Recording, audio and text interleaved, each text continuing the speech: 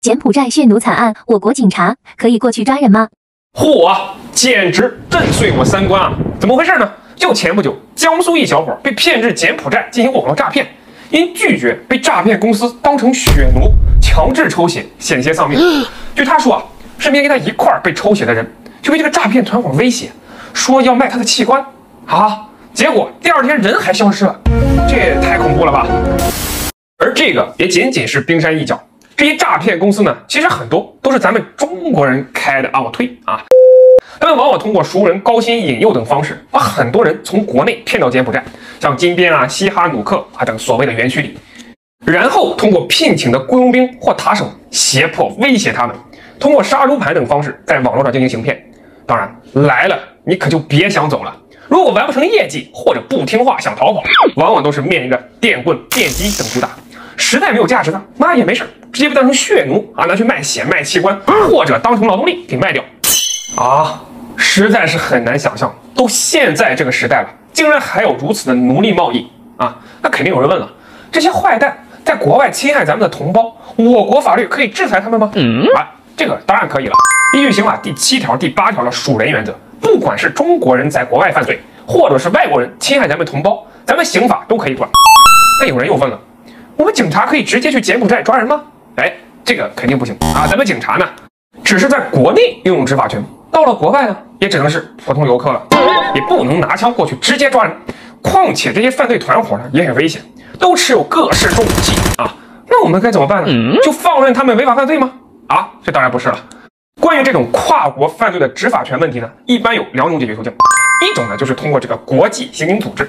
该组织呢，目前是仅次于联合国的全球第二大国际组织，有一百九十多个成员国。我国呢，也于一九八四年加入。如果这个罪犯呢，在这些成员国当中，哎，那就可以发一个红色通报啊，也就是红色通缉令，或者你们说的 S 级通缉令。关于通缉令的知识呢，我之前也讲过，大家可以去看。然后就可以向罪犯所在的国家提出申请啊，进行协作执法。但遗憾的是啊，我查了一下二零一九年三月份成员国名单，哎，好像没有柬埔寨。这也可能是为什么这些人都跑那里去了啊？呃，这个当然没关系啊。还有第二种途径啊，就是两国呢可以直接建立双边合作。我国公安部呢于二零一九年八月与柬埔寨国家警察总署共同成立了协调办公厅，共同打击中国人在柬埔寨犯罪行为。那有人又问了，如果我是被他们拿枪指着被迫进行啊诈骗的，那我会被判刑吗？嗯，哎，这个呢属于刑法二十八条规定的胁从犯的情形，可以减轻或者免除处罚。我建议啊，这些被迫参加的同胞们啊，你可以勇敢的站出来啊，举报这些人，协助我国警方打击犯罪，拯救更多的同胞啊！估计啊，可能就不处罚了。检警方认定血奴案是编造的，可信吗？好家伙，这真的是离谱！他妈妈给离谱开门，离谱到家了。这都是编的，不带这样反转的，玩呢。就前两天，柬埔寨警方通告说，这所谓的血奴案纯属编造，根本没有。被媒体报道的血奴李某呢，是偷渡去柬埔寨的，患了严重的肝病，根本就不是被人抽血了。那问题来了，柬埔寨的警方通告可信吗？目前呢，确实也没有透露其他更多的细节，以及呢，也没有更多当事人出来爆料。我个人呢，其实是保持一个怀疑的态度。毕竟这事儿呢，对于柬埔寨的国家形象，它是一个负面影响。这以后啊，谁还敢去那里投资旅游啊？生命安全都难以保障啊，简直就是犯罪者的天堂。那他们肯定是不能认呐啊！如果说确实啊，这哥们儿是编造的假消息，而且还是偷渡过去的，那不用说，肯定会根据柬埔寨当地的法律接受处罚。当然啊，我们国家呢，根据属人原则，也是可以管辖的。但是在外国已经受到刑罚处罚的，可以免除或者减轻处罚。那问题又来了，如果这个不可信？那那些受害的在柬国人该如何保护自己呢？嗯，没有人身自由权，他动不动还会被揍啊！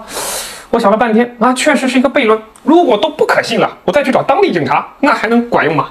我建议呢，还是求助咱们驻柬大使馆，让咱们自己人去协助报警啊，这个可能还管用啊。最后呢，我还是强烈建议，尽量不要去某些特殊的国家啊。对于这件事，你们觉得可信吗？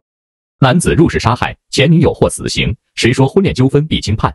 嚯，这也太变态了啊！感谢前任们不杀之恩。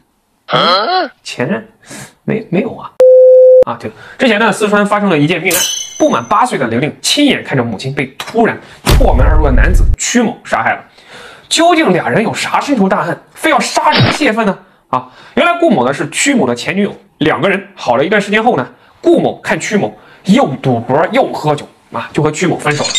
曲某一看这不干了，你什么意思啊？看不起我，还是外头有人了？对顾某那是一个死缠烂打，都分手一年多了，还持续不断骚扰人家。公安机关呢也多次警告和训诫，但此人头非常的铁，压根不怕，继续骚扰辱骂顾某，直至将他杀死。其实啊，听到这啊，有件事非常让我担心。大家都知道啊，加害人与受害人一旦沾亲带故的话，这件事情就复杂起来了。嗯，家庭纠纷包括婚恋纠纷导致的凶杀案，法官都是慎用死刑的，甚至轻判的可能性都非常大。像妻子被丈夫家暴，忍无可忍将其反杀的案件，通常都不会判死刑。当然了，最高法这样做呢，跟咱们的国国情是分不开的啊。咱们中国人呢比较注重血缘呐、亲情啊、家族啊，不想死了一个又进去一个。而且这种案件呢，通常是激情杀人或者过失杀人，加害人没有那么大的主观恶意和社会危害性，再加上家人邻里之间的纠纷，往往也说不清楚到底是哪方过错，这个清官还难断家务事儿。那这件事情的最后呢，法官是怎么判的呢？嗯，哎，这个案件呢，一审曲某被判的是死缓。但二审却改判死刑立即执行，这挺好啊！大家可以把正道之光打到后面上。法官判死刑的理由是什么呢？嗯，法官认为啊，啊是啊，婚恋纠纷确实要慎用死刑。我承认啊，最高法指导的对，但是这案子的性质它也不是婚恋纠纷呐。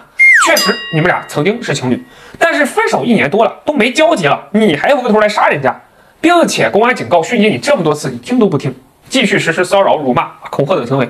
不仅对顾某，还对其家人、同事及周围的人都产生了严重的影响，这可就是严重破坏社会秩序的行为啊！都让呢法官给出了一个死刑不亏的结论啊！最后呢，除了告诉大家不要在垃圾桶里找对象之外，我还想提醒一句啊，别以为你伤害的是自己的女朋友或者老婆就没事了，该死刑的一个都逃不掉。对于这样的判决，大家支持吗？物业未提前通知强制打包学生物品违法吗？嚯，简直离了个大谱啊！我强烈建议你这物业公司呢，他找个律师，那也不贵，是吧？都二十一世纪了，你不经过人家允许啊，就私自动人家的东西，这不是土匪吗？啊，就前不久啊，苏州高校啊西郊某荔浦的学生一回到宿舍，妈直接惊呆了啊，宿舍直接被搬空了，这是招贼了吗？学不知道，你们就把它收拾一下吗？没有人负责放哪里吗？不知道啊，原来呢是准备征用学生住的这两栋啊商业公寓。啊！但是呢，这物业既没有提前通知啊，也没有经过学生的同意，就直接把学生用品给强制打包了。很多网友就说呀，我这辈子都没见过这么无语的事儿妈！而且你征用就征用，妈很多空房你不用啊，费用人家女生宿舍，还拿走人家的内衣和学位证。那该行为到底违法吗？哎，这个呢当然是违法的了。你未经居住人允许就直接破门而入，把人家东西给打包了啊！虽然你不以非法占有为目的啊，不构成盗窃。但是这个行为呢，其实是涉嫌构成非法侵入住宅。有人可能问了，不能吧？哪有这么严重啊？人家不是有官方征用的公告吗？哎，这个确实。但是就算是征用，也应当符合征用的手续，你不能违法呀。嗯，这就和拆迁征用一样，你所有的手续和流程必须得合法合规。你这直接用简单粗暴的方法，这任谁也接受不了啊。其次啊，如果该行为呢违反了物业和学校或者和学生签署的租赁协议的。或者你给人家东西啊弄丢了弄坏了，你也应当进行赔偿。关于这件事儿呢，我想说一下，其实学生们呢也并不是非怎么样，毕竟也是为了防疫。但你这种处理的方式以及道歉的态度啊，着实令人难以接受啊！这啥也别说了，准备谈赔偿吧。关注我，助你解开法律迷惑，变得豁然开朗。